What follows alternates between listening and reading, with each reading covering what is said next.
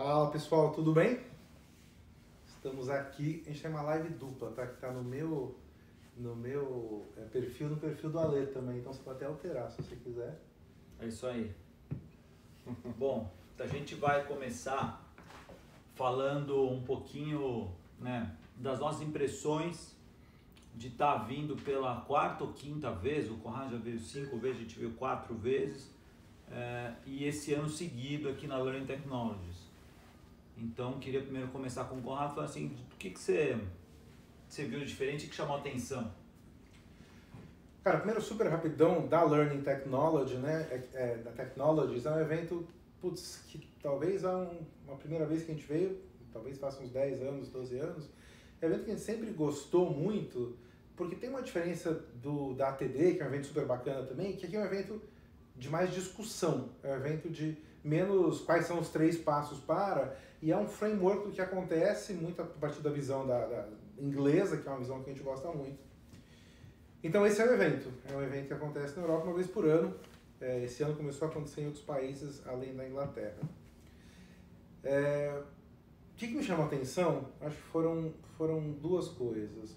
Uma eu vou me aprofundar depois, que é a conversa de cultura de aprendizagem. Efetivamente, eu acho que quase todas as, quase todas as, as uh, palestras, de alguma maneira, que eu fui, eu escolhi também, mas esbarravam com cultura de aprendizagem.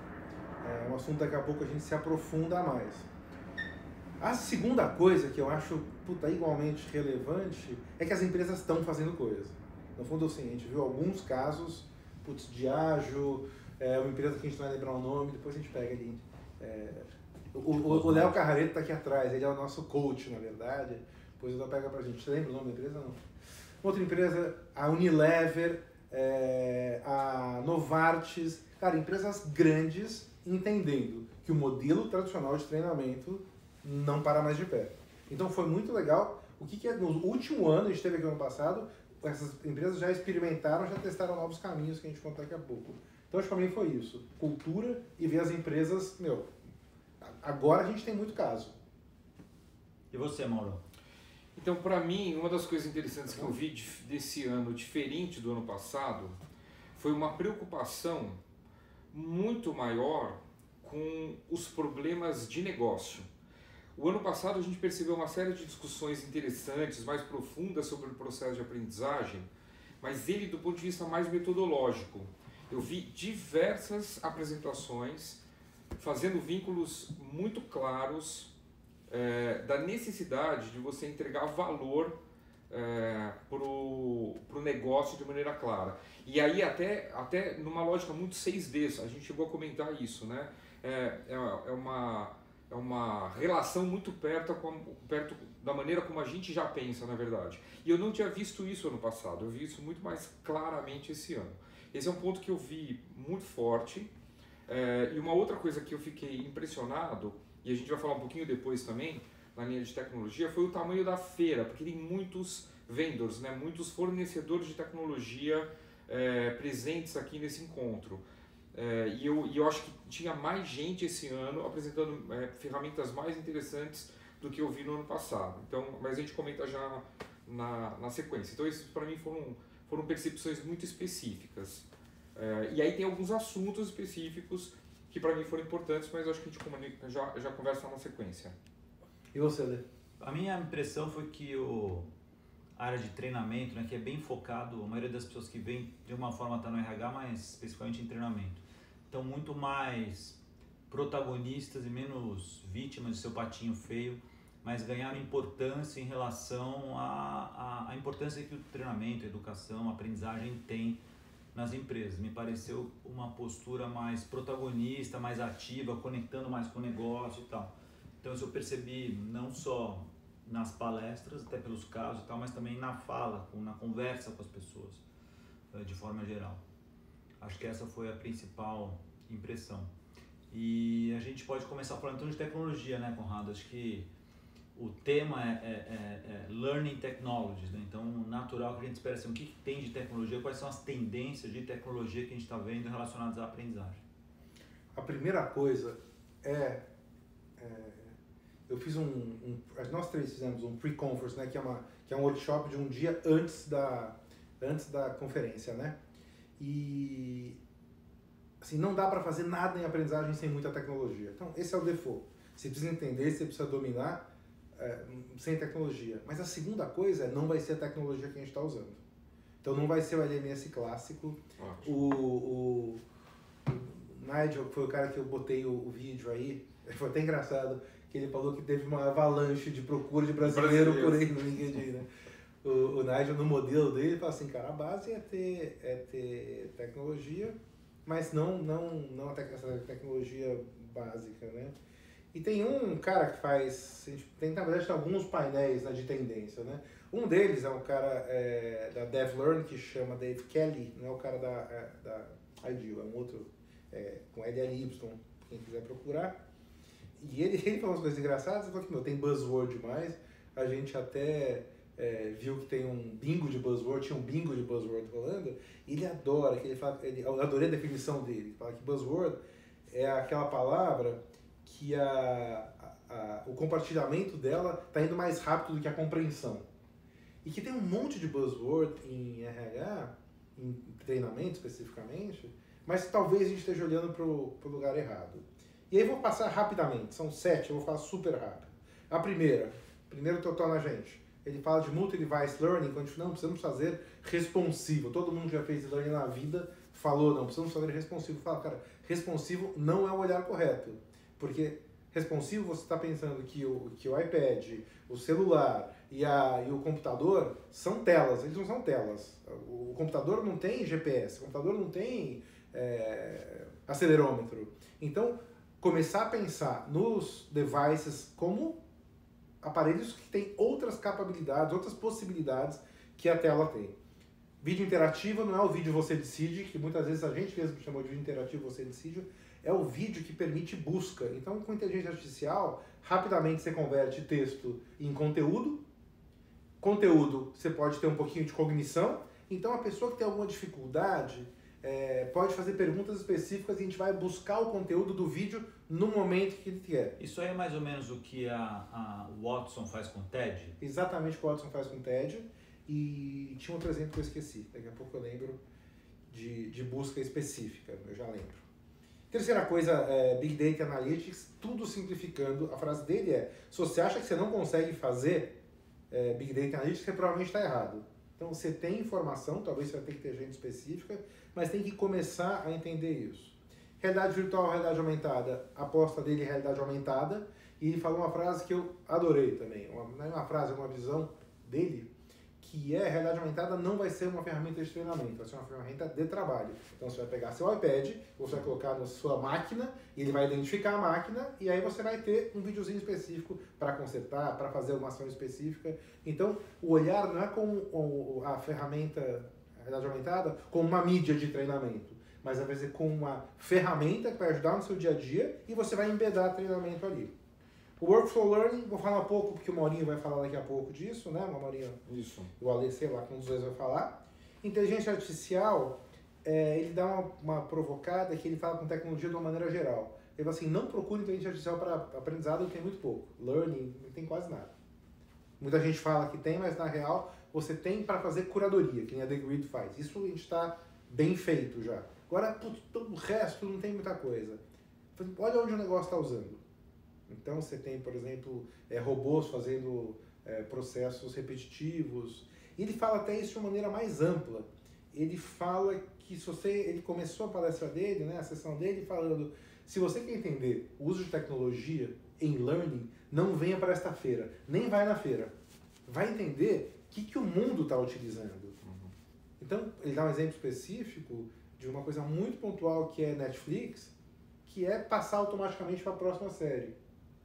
Então ele, ele sempre começa a palestra, eu já vi duas palestras dele e começa igual. Que ele fala, você tem uma galera na mesa, você está conversando, e de repente tem um assunto que ninguém na mesa sabe. O que, que as pessoas fazem? Aí todo mundo fala, vamos para o Google. Assim, pois é, ninguém se loga no LMS e vai procurar no capítulo específico o assunto. Então ele fala que se a gente entender como a tecnologia está impactando a vida das pessoas, a gente vai conseguir entender como a tecnologia vai impactar em aprendizagem. Então acho que meu olhar de, de tecnologia era esse. Vocês?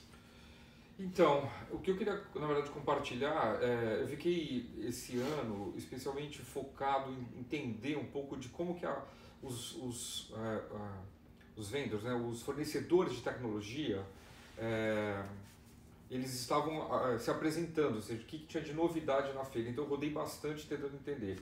E teve uma coisa que me chamou a atenção, que foi o seguinte, eu vi muita gente com LMS tentando fazer a história de é, conectar diversas soluções, é, mas eu vi muita gente, e eu já vou comentar essa tendência, é, oferecendo soluções meio para distribuir o processo de produção de conteúdo. Ou seja, ao invés de você ter estruturas muito grandes para produzir conteúdo, eu vi muita gente com tutoriais para fazer vídeo, com soluções de filmagem extremamente portáteis e rápidas de fazer, e isso em várias soluções, seja para você fazer um PowerPoint animado, seja para você fazer uma coisa simples, mas de alguma maneira tentando promover essa descentralização da produção desses processos de aprendizagem. Isso eu achei interessante. E quando a gente foi numa das palestras da Fosway, que é é, é Fosway, né? Que é, F-O-S-W-A-Y. Isso. A Fosway é uma, ela é uma, ela é uma empresa que organiza muito dessa do, do, do, mapa dos fornecedores de tecnologia e tenta organizar isso.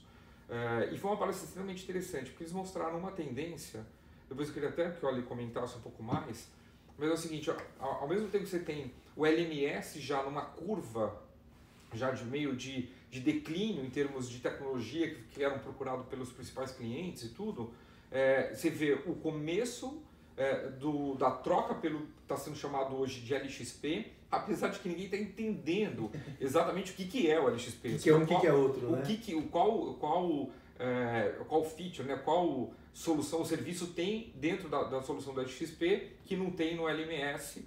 É, e, e, aí a gente não sabe se a gente está falando de analytics, se a gente está falando da coisa do personalizar a solução, então isso está meio confuso. E aí ele faz uma tendência que é, ao mesmo tempo que essas plataformas tentam colocar tudo muito dentro, tem diversos fornecedores extremamente especializados e fazendo coisas muito interessantes, é, mas aí focados e separados, ou seja, em vez de ter uma plataforma com tudo, muitas coisas muito legais e de uma maneira meio descentralizada também. Isso já montando um novo cenário desse universo aí de soluções de tecnologia para aprendizagem.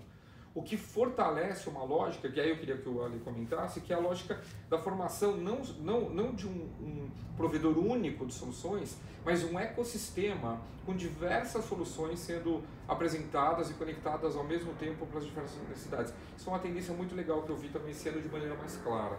Deixa eu falar só uma coisa, antes do sistema de uma experiência na feira. Eu, Maurinho estava super conectado na feira, eu fui pouco lá. Na verdade, eu fui passear e eu passei lá porque o almoço você tinha que passar por ela casa de propósito. Né? E aí, bom almoço, inclusive, né, Lê? Bom, muito bom almoço, almoço vegano para o Ale. Até vegetariano. vegetariana. Ela agora é uma pessoa vegetariana, quase vegana, né?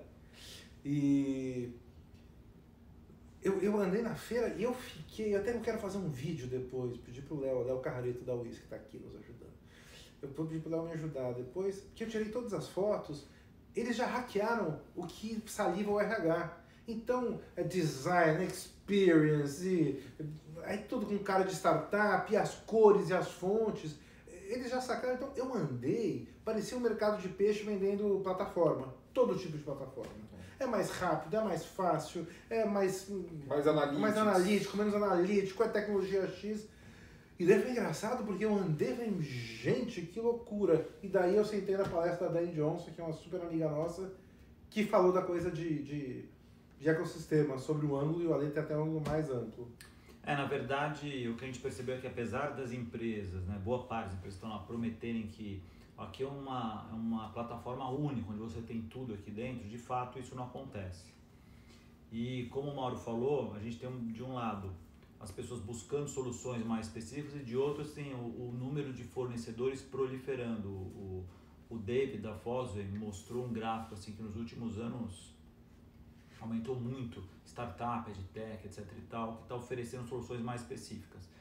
E não tem só né, nas empresas, organizações, não tem só porta de entrada pelo RH, muitas vezes você pode ter uma outra porta de entrada de uma área que resolveu colocar um aplicativo, resolveu conectar alguma coisa lá, então você acaba distribuindo um pouco esse poder, não só da, da questão de conteúdo, mas também de consumo e acesso a outras coisas. Então, acho que essa ideia de querer centralizar tudo em uma ferramenta só, na prática as pessoas estão percebendo que não funciona e que não dão conta disso, nem de controlar isso também. E a abordagem da, da Danny Johnson é interessante porque ela faz um, um mapeamento de quais são as ferramentas, desde plataformas mais completas mesmo, que não estão só em learning, mas estão em gestão de talentos e outras coisas também, até aplicativos uh, que de alguma forma as pessoas na organização estão usando para aprender. Isso é bacana porque você consegue ter uma visão do que está sendo, né, todo essa, esse ecossistema mesmo, né, que tem de tudo ali.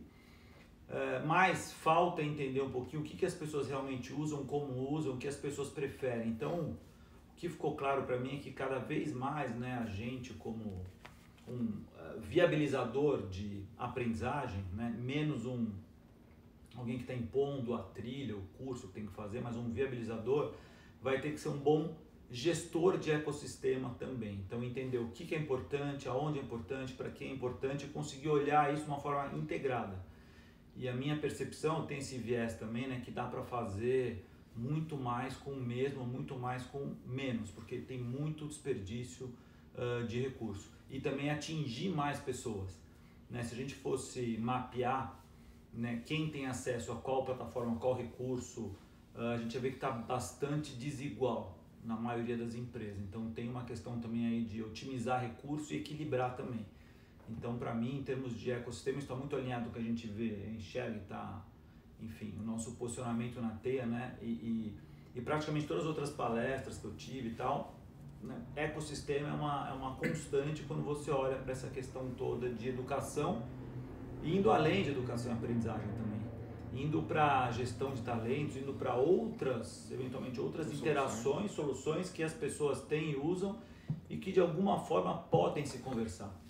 Foi interessante uma hora na, na palestra, uma pessoa levantou e perguntou assim, mas como é que eu controlo se eu tiver diversas aplicações para diversos públicos, né?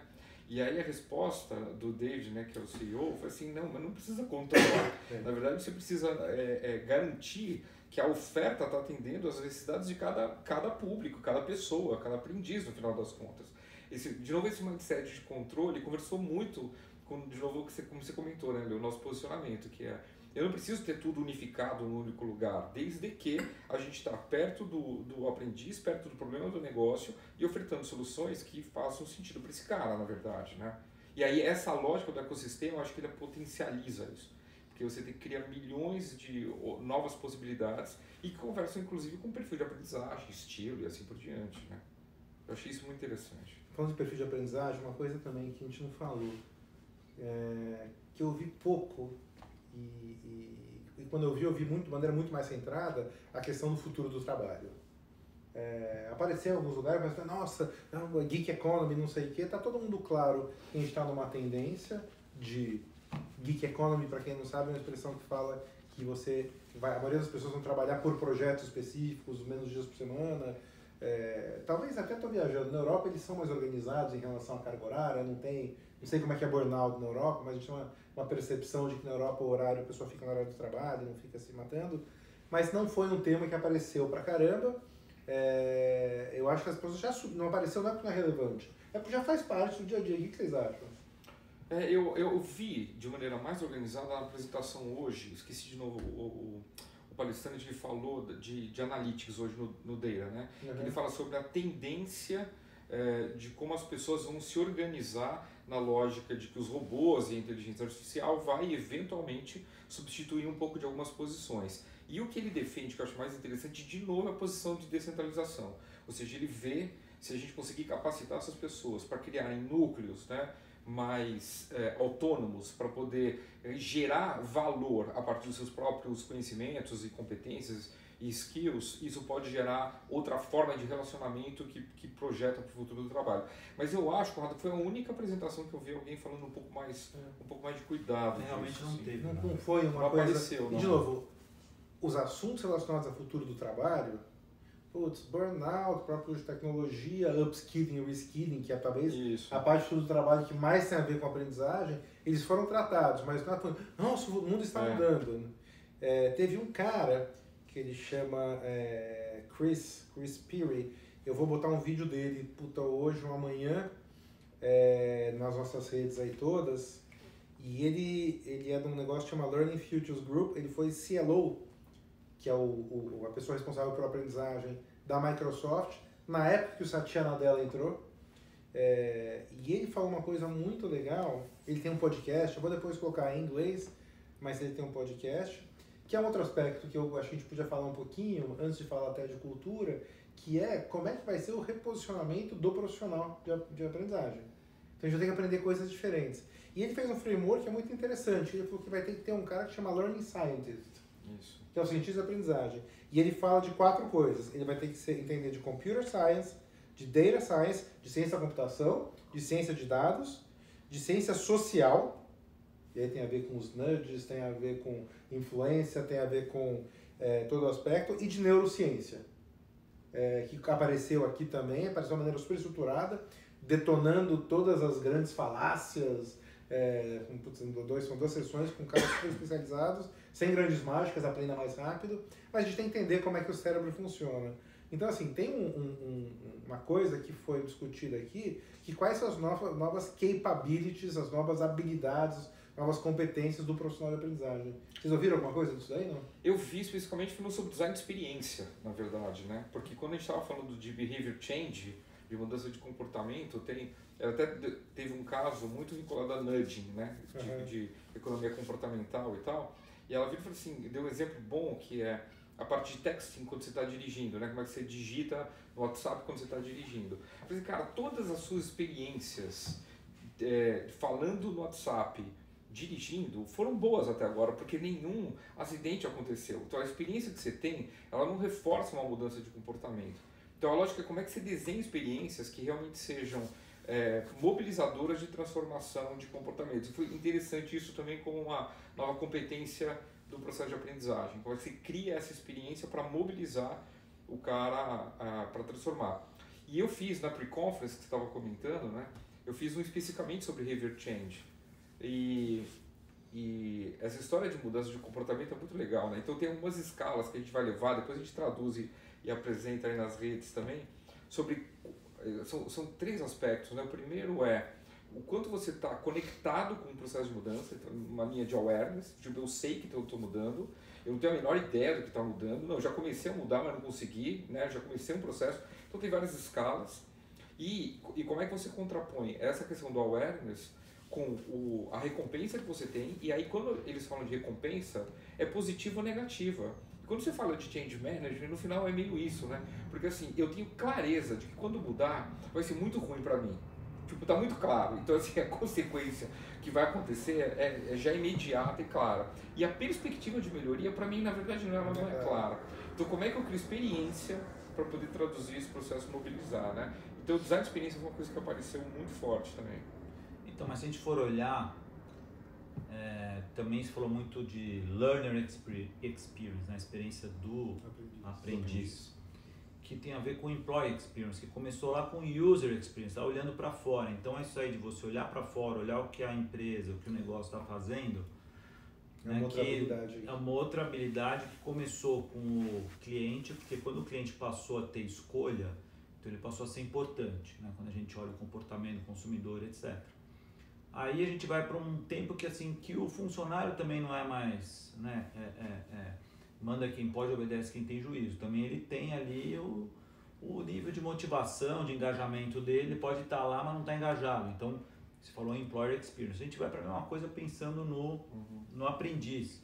E aí por isso que as habilidades todas novas, né, de behavior science, de também tecnologia, óbvio, tão né, sendo cada vez mais importante para o profissional para dar conta disso, porque não vai dar mais para falar, olha, você tem que fazer essa trilha, é Isso. é assim, assim, assim, Exato. vai lá, tal hora, faz e completa. Primeiro porque ele não pode ir, segundo porque mesmo que ele vá, não quer dizer que vai acontecer nada depois. Então acho que a gente está, na verdade, o que é muito interessante é começando a enxergar as pessoas, né, é, com a mesma preocupação, né, com a experiência que você tem fora do ambiente de trabalho, né, se relacionando com tecnologia, com tudo dentro do ambiente de trabalho.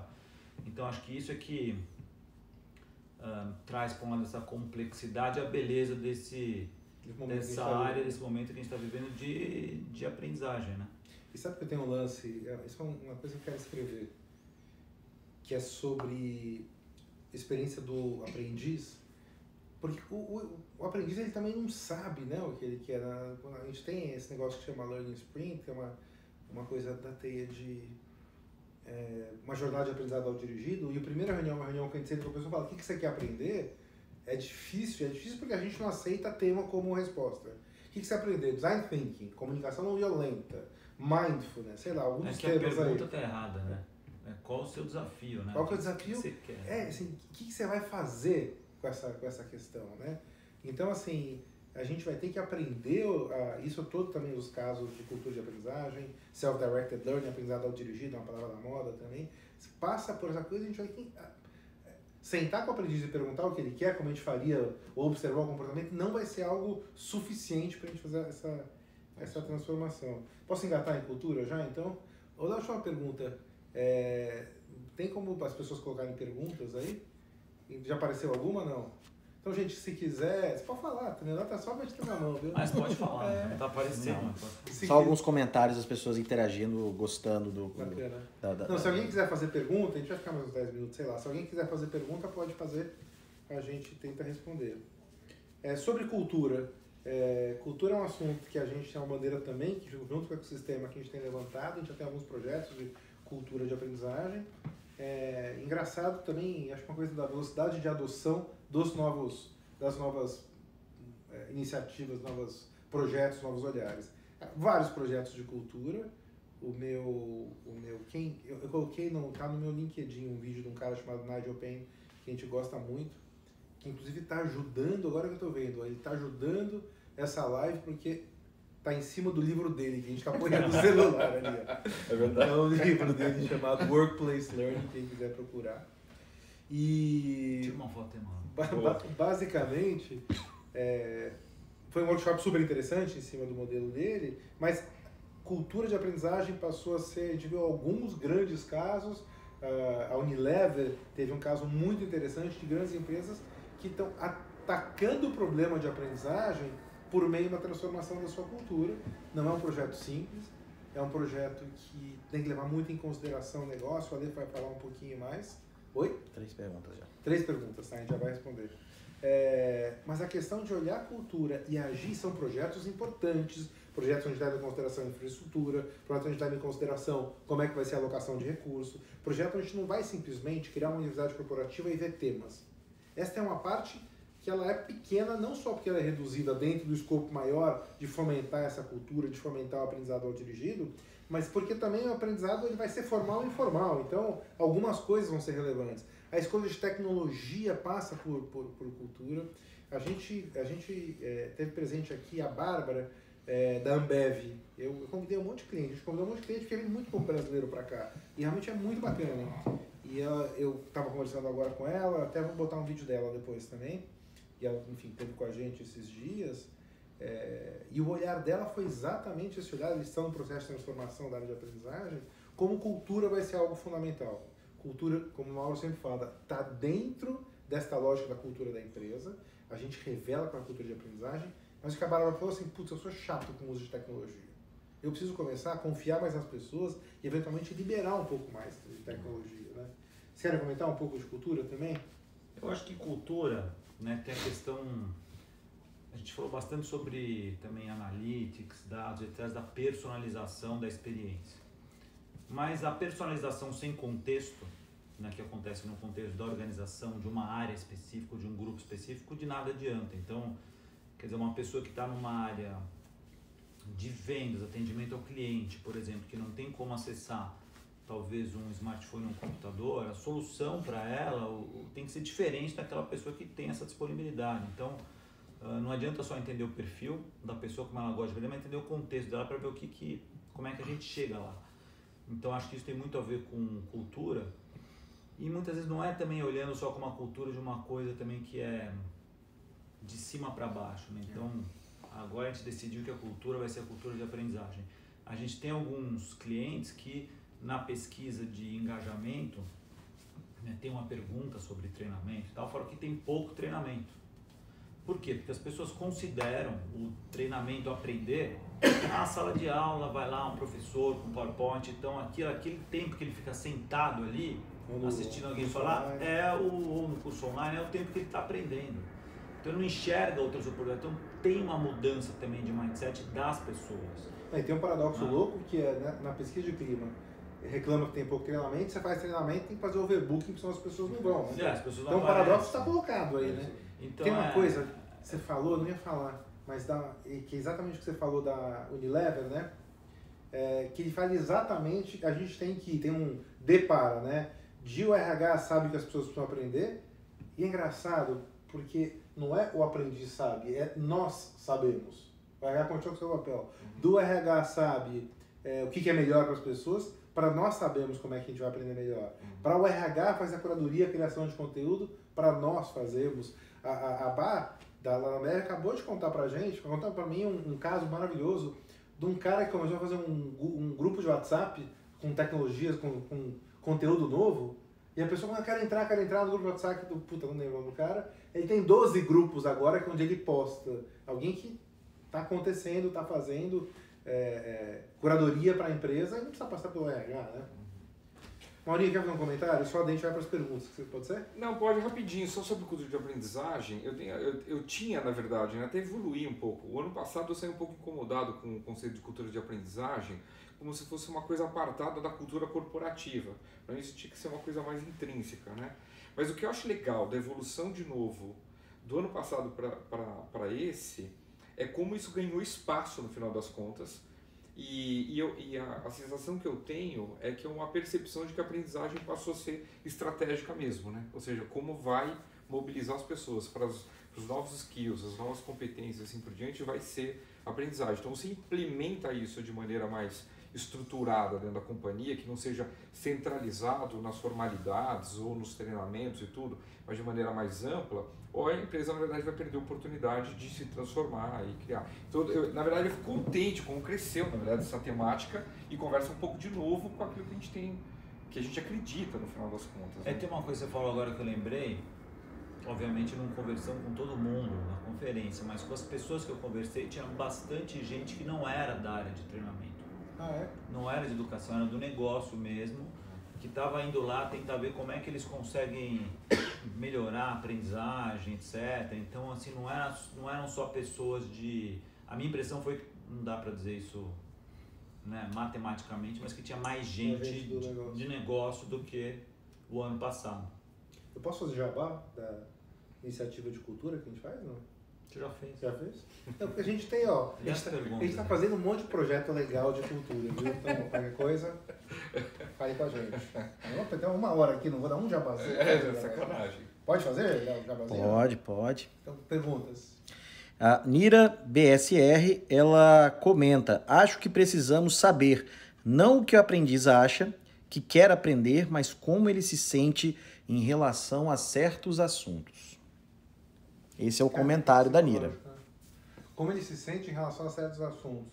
Puta, eu- o que o Ale falou, né? A gente tem que entender o que está pegando, qual que é o desafio dele, né? Eu posso falar um Eu- pouquinho sobre o performance support? Pode, depois? eu só contar uma coisa que é legal, o exercício, não sei se vocês estavam na sala, que é um exercício bom de fazer, quem até foi falar sobre o assunto, que é fazer, levanta todo mundo. Você É, dá, né? lembro. Pensa a última vez que você aprendeu alguma coisa. Quem aprendeu alguma coisa num curso? Pode sentar. Tipo, ninguém. Quem aprendeu alguma coisa lendo um livro? Aí aprendeu um ou dois. Conversando com as pessoas, um pouquinho. Esse eu sentei. É, procurando uma coisa online. Uau, a galera. É. Então, assim, a gente. E aí é um pouco da andragogia, vai, que a gente gosta tanto.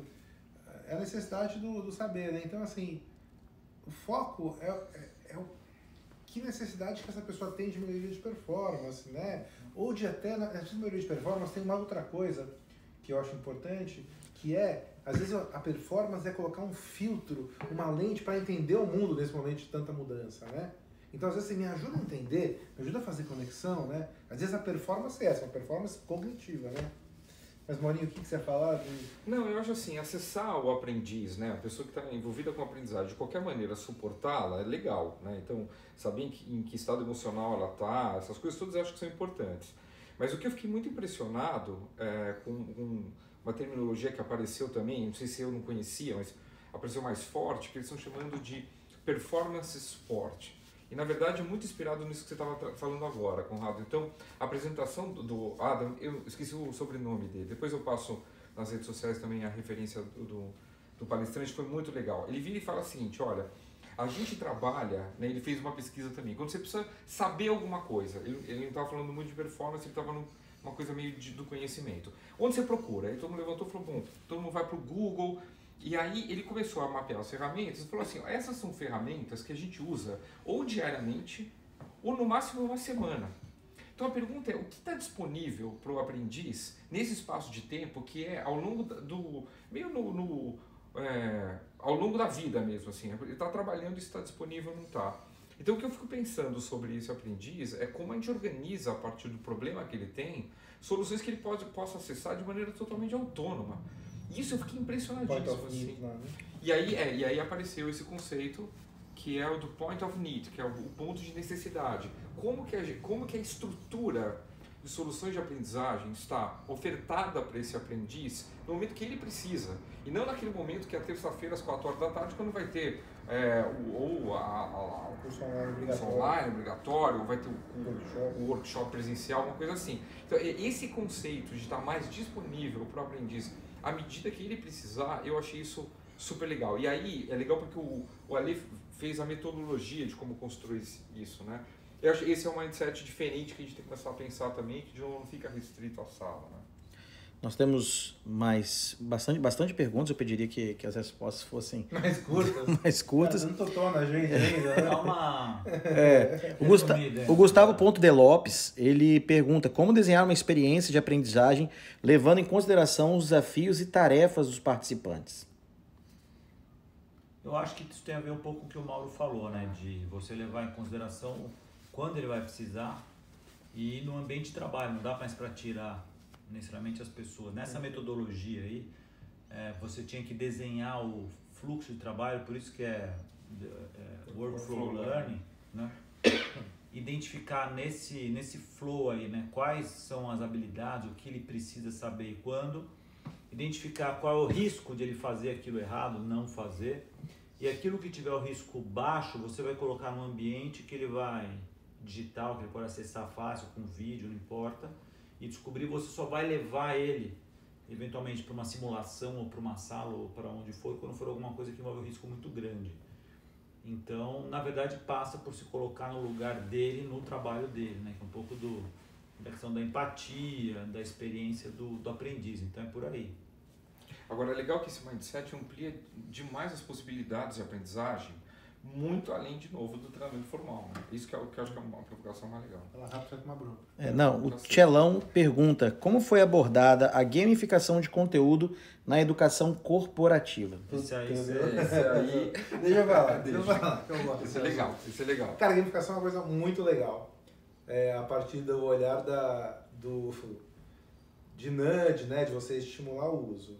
A questão, e a gente viu numa palestra de um neurocientista de verdade, assim. Um cara.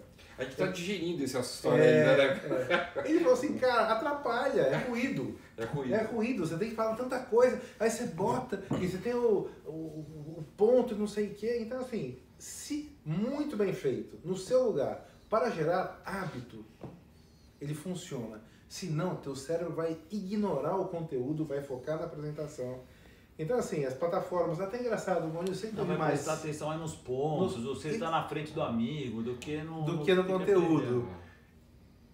Não era um ponto de venda muito relevante, né? Gamificação na... Da, na, na feira, muito. não tinha muito, mas tinha. tinha, tinha uns, é. Devia ter uns 5, 6 é, fornecedores não, de, de Assim, mas já foi a grande diferença, já, não era? Já. Então, assim, a gente...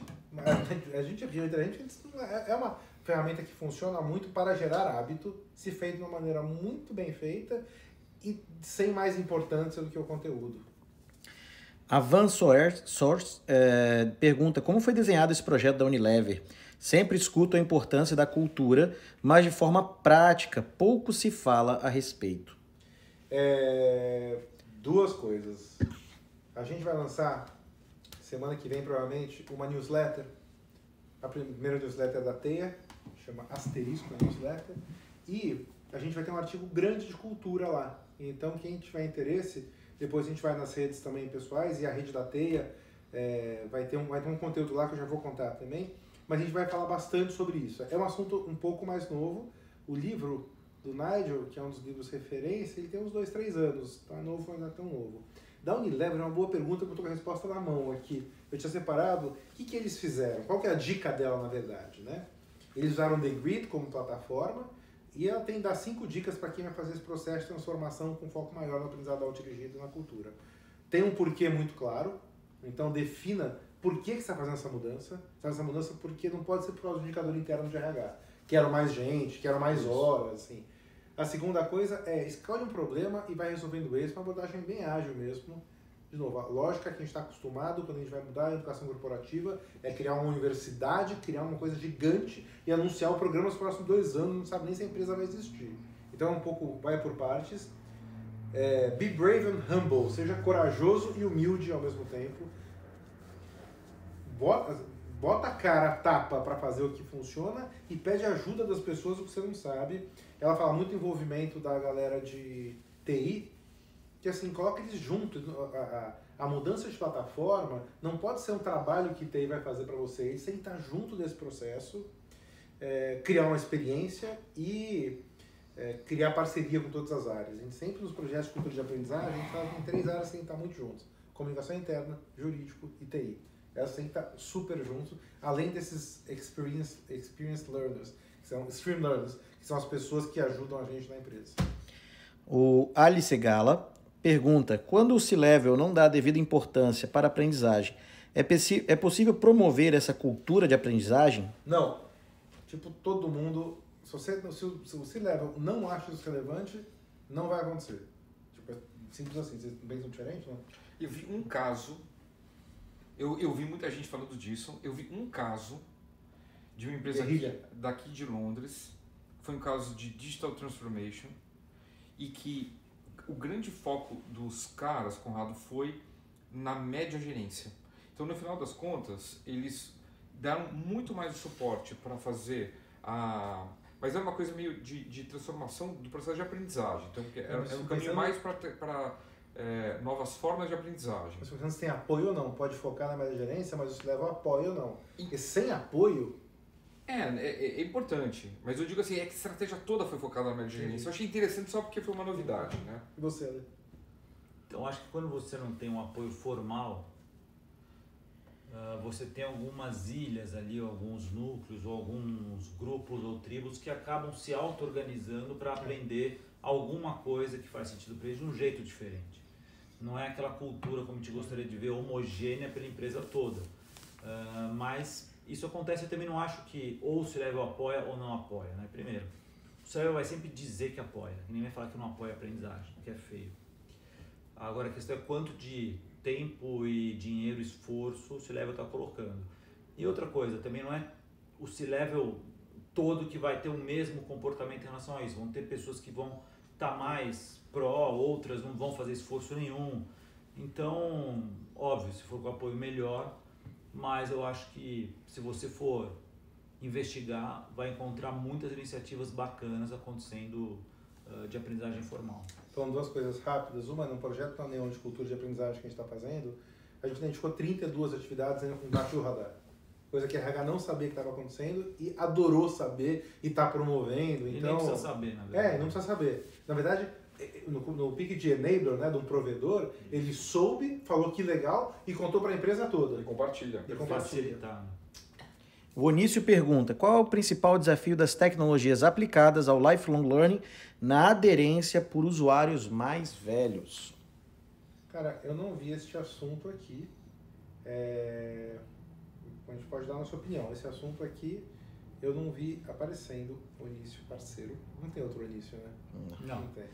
É, o, Oni, uh, o Onísio tem um trabalho muito legal, a gente pode chamar ele para falar aqui depois também, de epidemia de aprendizagem, como é que faz a epidemia. Né?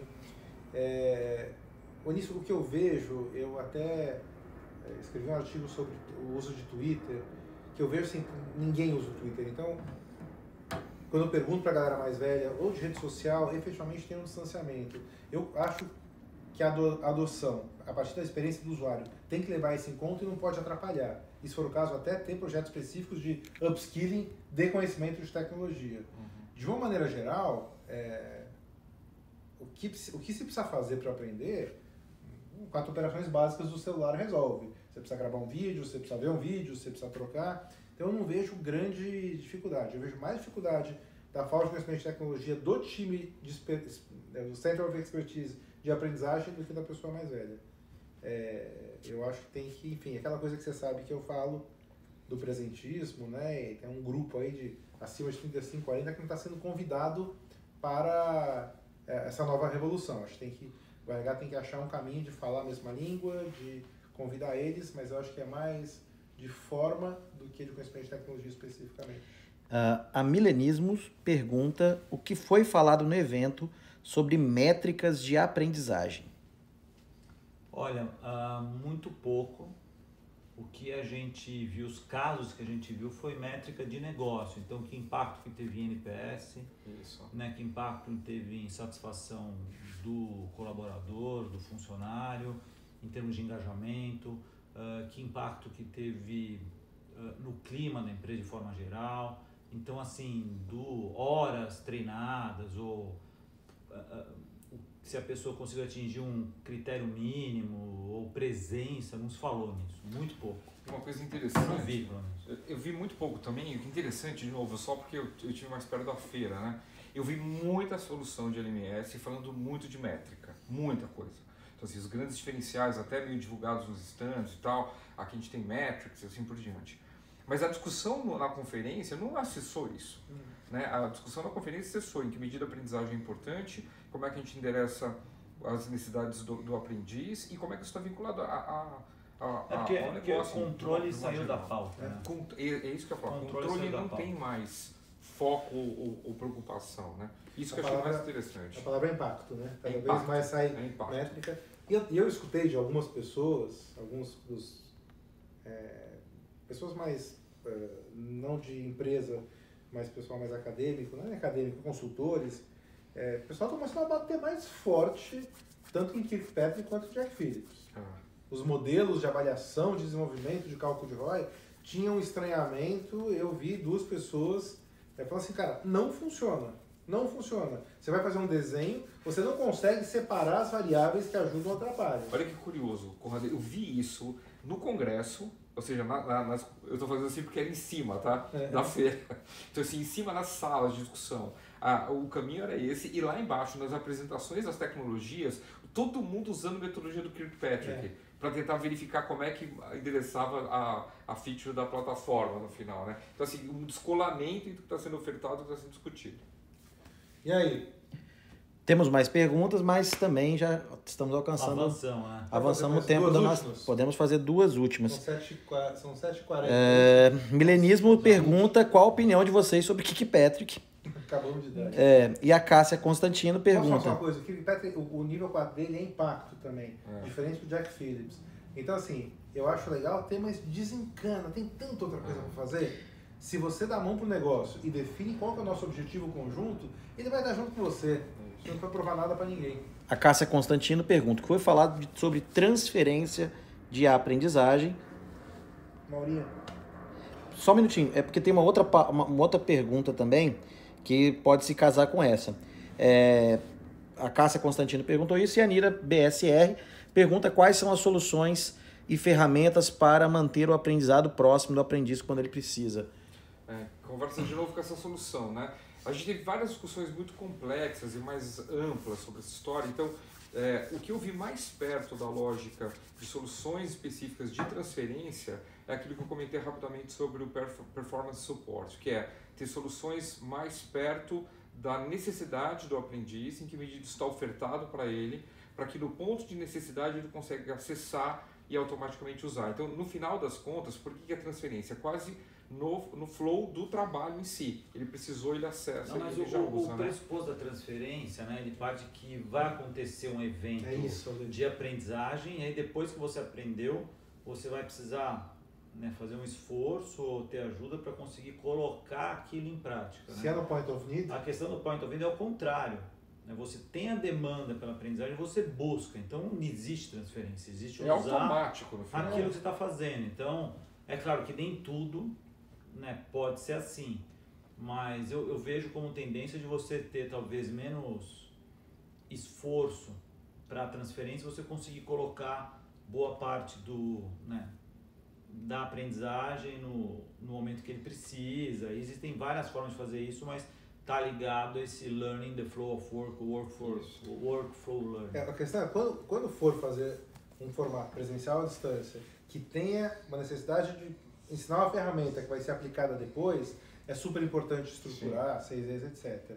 Mas fico pensando numa metáfora que é, vou fazer um bolo. Aí fui lá, fui no YouTube, aprendi a fazer o bolo e fiz o bolo. Não tem transferência, já fiz o bolo. Então você não vai ler e depois passar a transferência, né? Não, tem uma questão que apareceu também, que muitas vezes é, essa coisa do timing importa. Então alguém estava dando um exemplo lá que uma empresa de software ia lançar um novo produto em outubro, começou a treinar os vendedores em março. Você imagina um cara sendo treinado em março para começar a vender um negócio em outubro. Por quê? Porque precisava chamar todo mundo, tal, aquela questão de logística, então chama antes. Óbvio que aí vai ser muito mais difícil ele conseguir aplicar. Então, acho que tem essa questão do timing, do timing ideal, se o próprio, o próprio pessoa, aprendiz lá, puxar o conteúdo, mas ser mais próximo possível de quando que ele vai aplicar. Uhum. Acho que deu, né? Gente, obrigado demais. E tem uma coisa que eu acho legal, só, puta, pra gente isso daqui é um investimento de tempo é, que eu acho que todo mundo que trabalha na área tem que fazer. Acho que nos últimos 10 anos deve ter em, sei lá, 30 conferências, muitas que não são da área, é, mas não dá pra gente estar tá conectado e sem fazer esse papel de novo, muito pouco brasileiro vem para cá. Tem que vir mais porque é uma experiência muito bacana. É muito legal. É muito legal. Esse vídeo vai ficar depois disponível. É, a gente vai continuar soltando ao longo das semanas vídeo. O que eu ia falar, a gente vai colocar na, no site da Teia, é teia.us, talvez em uma semana, vai dar uma semaninha pra gente, um artigo específico. Com, vai ser esse artigo, vai ser, vão ser todas as referências que a gente achar aqui link para caso de empresa, é, link para artigo, alguns livros, vai ser uma lista das referências da gente, a gente coloca no site da Teia e, e divulga aí nas redes sociais para vocês acessarem lá. Obrigado. É isso aí, gente. Obrigado.